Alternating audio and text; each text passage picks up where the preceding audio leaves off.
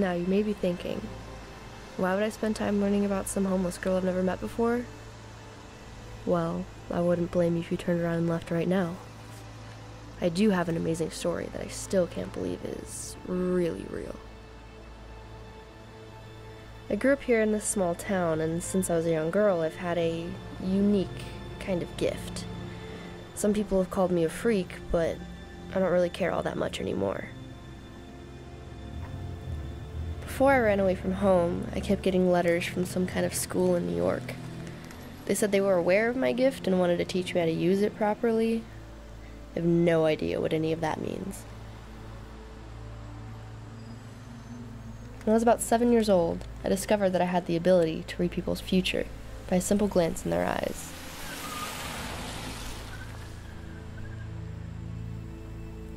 One night, when my mother was still asleep, my father came home late from work. I noticed something different in his eyes when I looked at him. I asked him who the lady was that he was with before he came home. Dad? Dad? Dad? How the heck did you know about that? I'm Sorry, I'm sorry. Dad! What do you think you're doing? Stop it!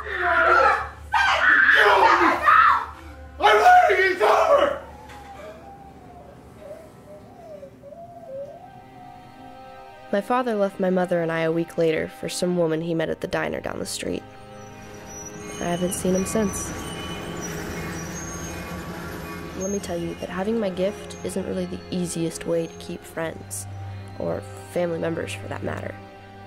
So I ran away, not wanting to keep anyone close to me. This gift has made me ask a lot of questions, though. Like, does the future fluctuate based on the actions of everyone, or is it all just written? But one thing is certain no matter what I do, I can't change the outcome to the visions I see.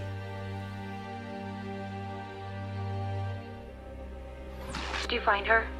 Yeah, she's right in front of me. Make sure you don't lose her, Scott. Relax, she won't get very far. Can't believe it took this long for us to find her, ever since Cerebra was destroyed.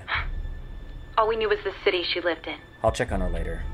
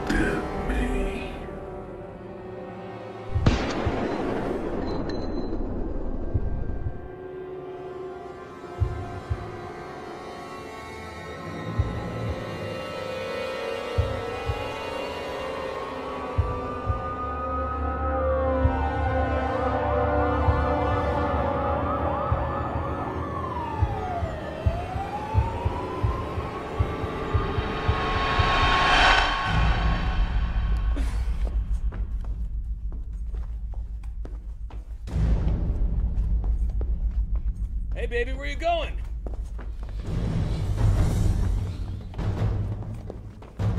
Hey, I just want to talk.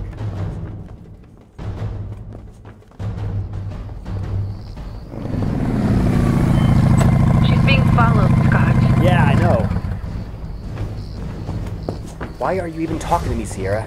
Don't you have danger room training to do? Well, with Logan gone, who do I have to pick on? I'll see you soon. I'll see you when you get back, Scott.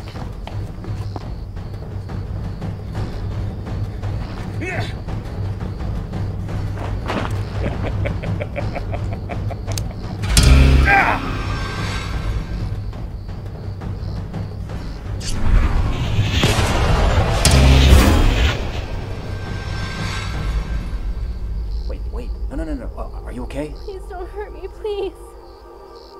I- I'm not gonna hurt you. My name is Scott Summers.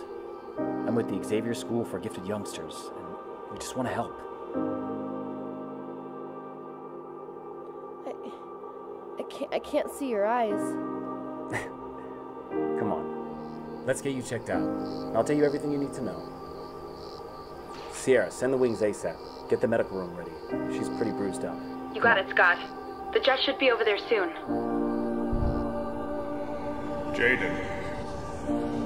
Jaden.